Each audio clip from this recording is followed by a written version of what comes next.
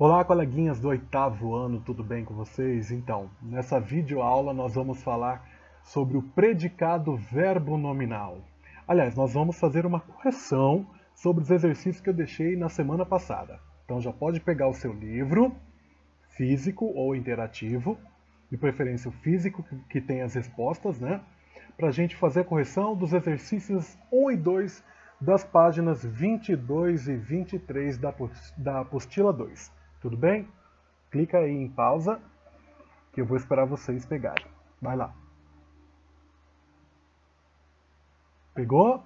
Então tá, vamos lá, vamos fazer a correção. Como eu falei anteriormente, a correção dos exercícios 1 e 2 das páginas 22 e 23 da apostila 2. Tudo bem? Vamos lá. Bom, lá estava pedindo na número 1 para vocês lerem as quatro manchetes, né? Vamos ler uma por uma. A primeira é: Aumentos na gasolina e no diesel deixam motoristas indignados. Legal. Segunda: Cansados de assaltos, moradores espalham avisos. Aqui tem ladrão. Terceiro, Coldplay volta triste e romântico em novo disco. E a última, Ministério da Saúde considera inadequado uso doméstico de inseticidas contra dengue. Bom, na letra A estava pedindo o quê? Vamos lá. Essas orações, aqui eu li agora há pouco, apresentam um predicado verbo nominal. O que é um predicado verbo nominal? Mesmo que eu tinha deixado como é, para vocês fazerem uma revisão, um esqueminha, uma coisa assim, até cheguei a explicar é, presencialmente para vocês em sala de aula, uma das turmas privilegiadas, hein? Primeiro, primeira característica do predicado verbo nominal. Se você quiser anotar aí do ladinho, ou então no seu caderno, é só pegar. Postila de um lado, caderno de outro. Vamos lá. Primeira característica, que eu já falei, mas eu vou voltar a repetir. Possui dois núcleos, um verbo e um nome. Por isso que o nome é verbo nominal, porque possui dois núcleos. Segunda característica. Possui predicativo do sujeito ou do objeto. Lembra? Característica, qualidade, que poderia se referir ao sujeito da oração ou ao objeto da oração? Pois é. Terceira. Indica ação ou atividade do sujeito e uma qualidade.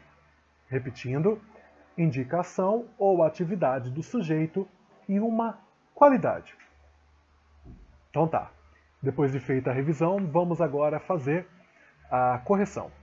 Então na letra A está pedindo: identifique em cada um o predicado e seu núcleo nominal e o termo ao qual ele se refere, sujeito ou objeto.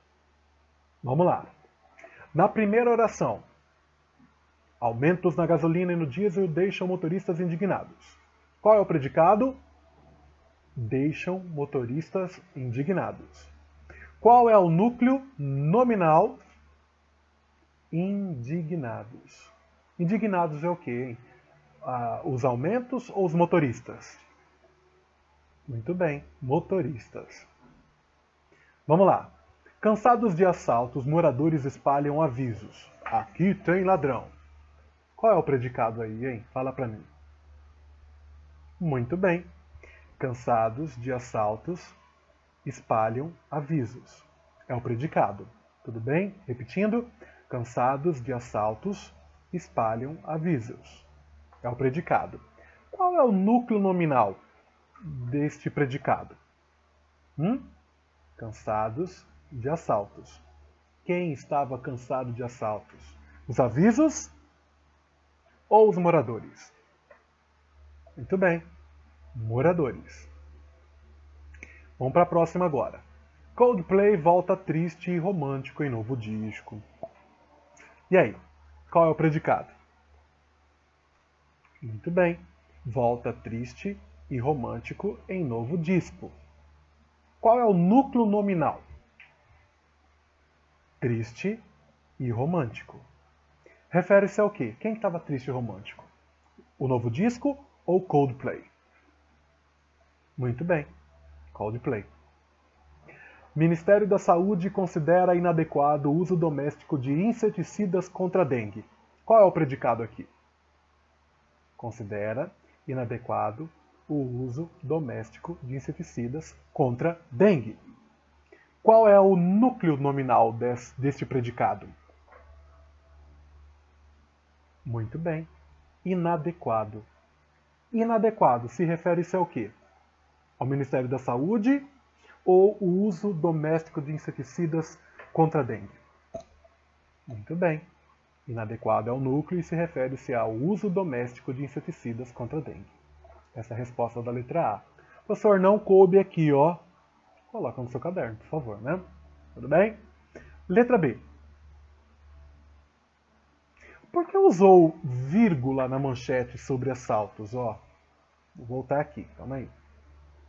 Por que se usou vírgula na manchete sobre o assalto? Cadê, cadê, cadê? Cadê? Aqui. Cansados de assaltos, vírgula. Por que, que tem aqui uma vírgula? A resposta seria, anota para mim aí se você errou ou se você quer complementar, é só ir no dando, dando pausa aí no vídeo, sem problema nenhum, tá bom? Vamos lá, anota aí. Para marcar o deslocamento do predicativo e assim deixar a frase mais clara. Tudo bem? Para marcar o deslocamento do predicativo e assim deixar a frase mais clara. Aqui, ó aqui, deslocamento daqui dos avisos até aqui, para deixar mais claro. As pessoas moradores espalham avisos cansados de assaltos. Aqui tem ladrão. Ficaria meio confuso, né? Então, o predicativo foi jogado lá para o início, como aconteceu aqui. Cansados de assaltos, vírgula, moradores espalham avisos. Aqui tem ladrão. Tudo bem? Bom, vamos lá. Letra C. A posição do predicativo do sujeito, como você viu, pode variar. Nós acabamos de ver lá, não é? Essa possibilidade existe também no caso do predicativo do objeto, sim ou não. Explique sua resposta com base nas manchetes lidas. Se você quer complementar, coloca do ladinho aí no seu caderno, então se tiver um espaço na apostila. Vamos lá? A resposta é a seguinte, gente.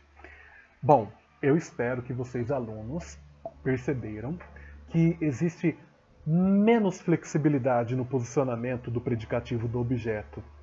Quando eu coloco lá na quarta manchete, vou colocar novamente aqui, ó.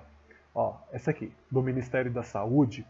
O Ministério da Saúde considera inadequado o uso doméstico de inseticidas contra dengue.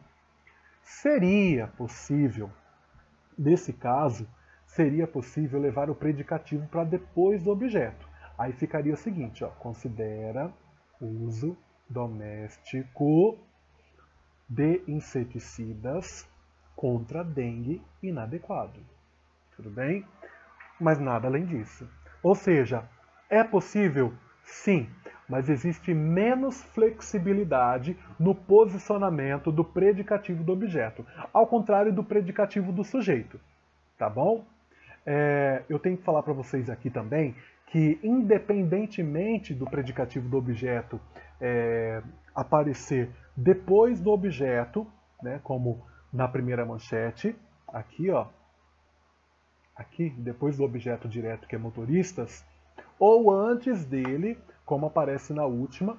Então, aqui, ó, o predicativo está aqui e o objeto está aqui. Os domésticos de civil contra E aqui está o inverso, né? Primeiro está o objeto e depois o predicativo. Não se usa vírgula para separá-lo do objeto ou do verbo.